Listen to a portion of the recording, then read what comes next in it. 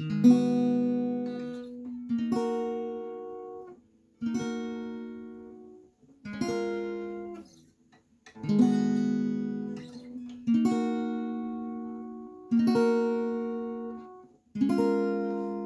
what's up? It's Brian Vick here again with another guitar tutorial. Uh, we've got Kehlani and Tory Lanez. Uh, Kehlani's new album um, came out this week. Um, and getting a lot of requests for some stuff. Uh, so just thought I would uh, put this one out here. Uh, it's Can I? If this video helps you out, I hope you like and subscribe. And let me know other Kehlani songs you want to learn on guitar.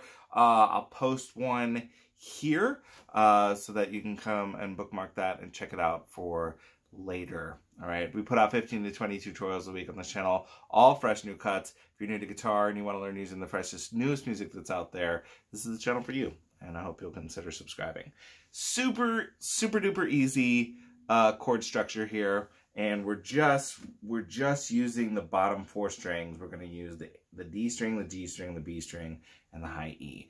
And it sounds like you're supposed to tune this guitar down a half step, uh, but we're not to do that because we can get away with it and just do um, just do some some kind of variations on some chords here.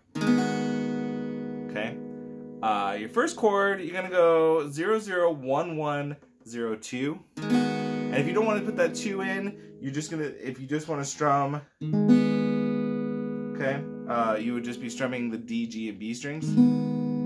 Okay, but if you put that two on there, it'll just it'll make it easier for you to just strum it and forget it. So you just do the. Okay, then you're gonna come up here to. All right. Uh, which would be 008876. And again, you're just strumming from the D string down. And you strum twice. And then you're just gonna bar the sixth fret and again pluck D, G, B, B, E. Okay, that's it. That's all you gotta do. So we start up here, uh, 1102. Okay, then come up here to 8876. Do this one twice. And then bar that six. Super duper easy, right? The hardest part about this song is going to be not playing the A the A string and the low E because it's out of tune. Uh, so just know that that's, uh, that's going to be a little bit tougher to do. All right? But...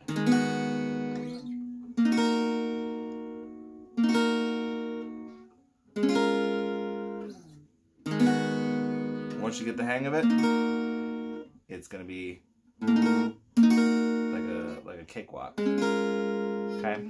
So, if you have any questions, let me know. Shoot me a comment down below while you're there. Give us a like. That would be great. And we appreciate all the ones that we get.